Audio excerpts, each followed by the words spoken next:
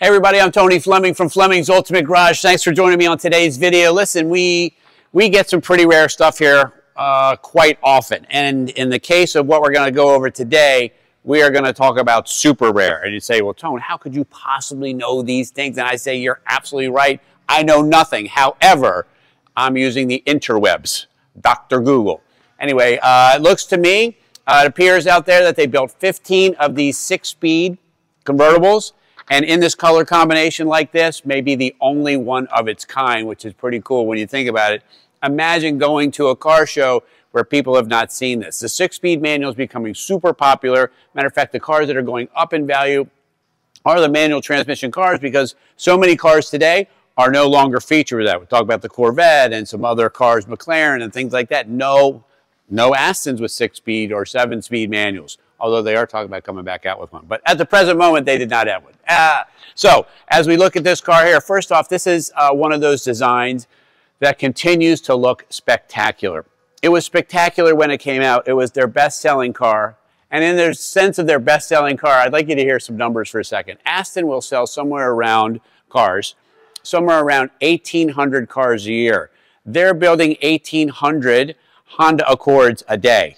I would like you to have that number for just a second to think about these hand-built cars and why they're so rare and why they're so cool. This is the way to buy one. We're going to spend some time looking at some of the good stuff, see why it's so cool. We're going to see people's names who helped uh, craft this piece of machinery and how rare it is uh, as well. All right, let's get started. All right, so a lot of times people will say, wow, man, that's a great looking car, but they don't really know why it's a great looking car. And I like to point out some stuff that makes some cars different than other. Like this is a pioneer of the fender vent, right? With this piece here that makes the car look like it's already moving, right? These are design things that they're thinking about when they make these. In the case of this car here, these wheels and tire setup is a, I don't want to say perfect fit because nothing in the world is perfect, but this is as perfect as it can get right? Look at how well it fills this. And look how big it makes this right here, all right? Then you also have this styling feature. Look how much fender is here. Most fenders are only half this size, right? Another great piece. These hood vents. The Aston Martin logo, which is a fabulous, fabulous logo. And lastly, the paint itself. The paint itself uh, is onyx black metallic. And until you get it into the sunlight and see it, it's got metallic in it and it will change colors as the sun hits it. It is spectacular to look at. It was an extra cost option during the time. Even on an Aston, they have extra cost stuff, right? Sheesh, it never seems to end. But this is why these are such great cars and why so many people buy them. Anyway, lastly, I just wanted to, uh, us to look at the quality of the paint, but just a quick paint lesson for you if you don't mind. Don't look at the paint. You say, Tone, what's that mean? What's that mean? Don't look at the paint. What I mean by that is this. Look at what's in the paint. Look at the ceiling. Look at the lights. Look at these letters. That's how you determine good paint. When you can see things nice and crisp, everything looks good, right? Uh, it's great paint. When it's a little bit fuzzy and not so clear, right, and kind of hazy, then you know you have suspect paint, and that's why we do the video, all right? So come on up here and check that out. Look how crystal clear that is and beautiful every letter, every piece of that description. Uh, imagine going to a car show at night in this car and pulling up there. It is fabulous. I can't wait for you guys to hear the exhaust. All right, I want to spend a minute here under the hood for a couple reasons. One, this is where the power and sound is generated. However, there's a reason why cars handle better than others. Uh, and this car, believe it or not, is considered a mid-engine sports car. You say, Tone, how could that be the mid-engine where you're talking like craziness? You're absolutely right. It is a little crazy. I'll show you in just a second. But more importantly, when I'm buying a car myself, these are the things I'm looking for, and I'm coaching you on that too. For instance, there are decals around here, okay, that you cannot purchase in, right? Under here, that's the original stickers here, stickers here, stickers here. If this car was in an accident, for instance, uh, those uh, places would be replaced, and these decals would be gone. You can't buy them. Here's the tag right here with all the details of the car. Here's the final inspector, Andrew Goff. He's the one who checked the car over and was part of the uh, not only build process, but inspection process as well, which is still there. If this was crashed, you can't buy this anymore, right? Secondly, let's get back to why is this a mid-engine car? Okay, so uh, the center line of the front wheel is right here, okay? The engine and transmission, all of this is behind the front wheel. This is why it handles so well. There's not all that extra weight over the front wheels. It's behind the rear wheels, which makes it go so well. Anyway, aluminum pieces here, here, hood, grill, stuff like that. And not to mention, if you want to go to a car show, it looks really, really nice under here. The factory did an awesome, awesome job. All right, so so much of a car is spent uh, styling wise at the front end. I like to spend a minute or so back here because this is a because it's fast. Most people will, that's the only part they're ever going to see. But most importantly, the the effort that somebody's put into styling this vehicle like that here.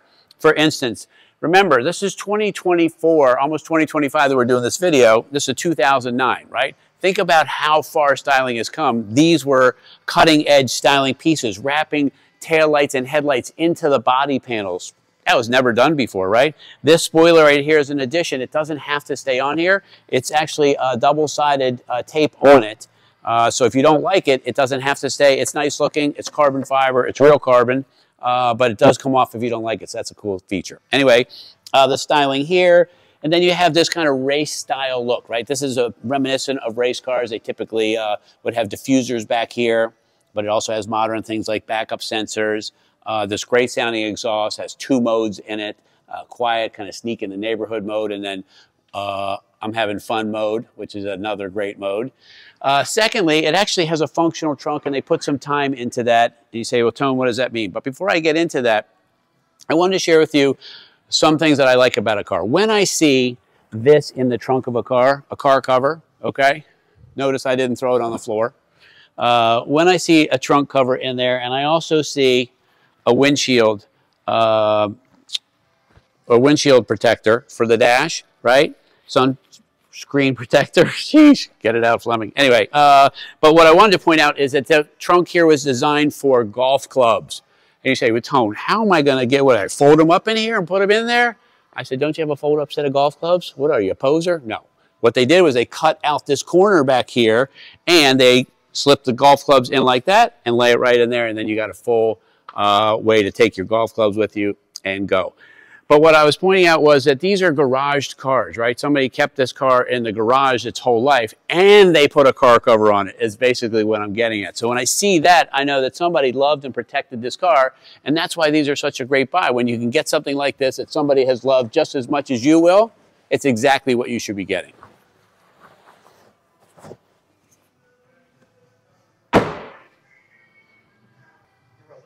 I love this part of the video where you're walking up to the car, you get to see your car, right? You get to see what it looks like. You're going to spend most of your time inside, but we forget how great it is to walk up to something like this. It's really magical. A couple small cool things about this as well, and I wanted to show you real quick, is this has articulating doors. And people say, well, Tone, what's that mean, articulating, right? Does the door fall off and onto the ground? No, it does not work like that. What it does do, though, however, uh, is it instead of coming straight out here, it comes up. Look how much it's come up here. It's already here now versus when it was down here. And it's a very subtle way it works. And I like to point that out to people because why is that important? Well, what it does is it opens up all of this space here for getting in the car, right? These are low cars. As we get older, it's not as easy to get in and out and whatever, but it allows us to get in these cars, right? Look how easy it is to get in. All right. I did want to point out real quick, uh, back over here on top of the, uh, the pads is uh, safety bar roll hoops. So in case the car was to roll over, right, these would pop up, or if it starts to tilt, that's got some safety built into it there. Uh, all right, let's get on the interior. So in an Aston, you're getting a full leather interior. What does that mean, full leather? Meaning like the, just the seats are leather or what? No. When you get a full leather interior, the dash is covered in leather. It's stitched here. The console, the seats, the door panels. This is Alcantara, right? Um, all the back parts in here are all stitched and covered in leather, right? This is what you're getting. You're getting an Aston Martin. I want you to think about what we're saying here. These are talking about they're building less than 2,000 of these total production for the world. Production for the world, okay? Not, not U.S., the world, right? They are rare and and they're luxurious and they're fast and they sound good and they're very modern inside. I mean, it's just uh, super super nice here. I don't know if I want to turn on some stereo music, maybe hear a little something, right? Uh, anyway, and this right here is the key. You got this. You got this close ratio six speed here. the rise and fall, the tachometer and the speedometer are really cool too because not only do you have a 220 mile an hour speedometer and an 8,000 RPM tach, but they go opposite of each other so that they're easy to see, right? And uh, a full array of gauges as well. Killer audio system in the car, like you don't need to upgrade it if you don't want to. Power windows and the keyless, and this beautiful crystal key that goes in here that comes with the car. All right, so I'd like to close up the video because we talk about so much stuff in here with just a few bullets for a minute. Remember, this car was $130,000 in uh, 2009. That's well over $200,000 uh, today's dollars, which is pretty impressive uh, that, that, that uh, these cars have kind of kept their value the way they have. This especially, right, has uh, added value to it because it's so rare. It's a six-speed, it's triple black. We didn't even mention the words triple black in there throw in xenon headlights, throw in keyless entry and, and full leather interiors and, and uh, killer hi-fi audio systems in here, big brakes, giant engine. Remember, the original car came with 4.2 liter engine. This got the 4.7 liter engine, right? And uh, if you've never driven or owned one, man, there's just something about owning an Aston that says, I have arrived. Anyway, call us, 301 816-1000 will tell you all about this cool triple black Vantage V8 six-speed. And if you don't mind, uh, hit the like button down below. That helps us get the message out. I really appreciate that. Uh, subscribe to the channel. We got new stuff coming out all the time. And maybe share it with your friends. They might like to see it as well. And I'll see you on the test drive. Not many cars are as elegant as having a crystal key and sound bad A like this. This is like wearing a carbon fiber tuxedo.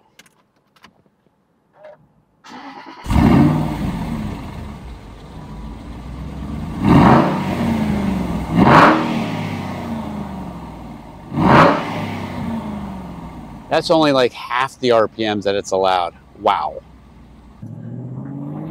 All right, so we decided to go for a drive today. We're shifting some gears. Why do you buy an Aston? Well, this is probably why you buy an Aston, because because it goes around the corners like it's effortless. Makes a great sound. Great brakes too. Wow. Sorry. This is awesome. I'm definitely not pushing it, but leaving that for you. Listen to that sound of the motor, man. You're not getting that out of electric. Wow.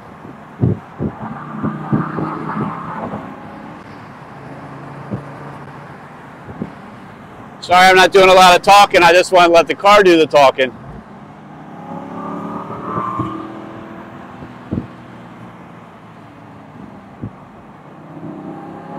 so nice. The motor just goes up and down, up and down. Trans is super simple and clicks, clicks into gear. Wow, this is great. And then you got comfort, man. If you just want to just go to dinner, maybe the Capital Grille's calling, and you just need to go to dinner. How you doing? All right, so we'll do our second little drive. You know, normally I talk during these videos, but in this case of this car here, there's so much that it's doing on its own. I feel like I'm ruining the experience.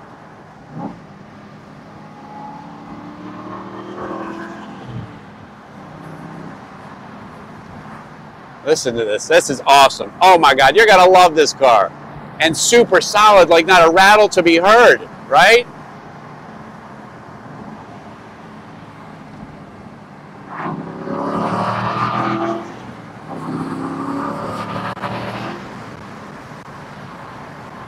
This is why you buy them, man, because it does this to you.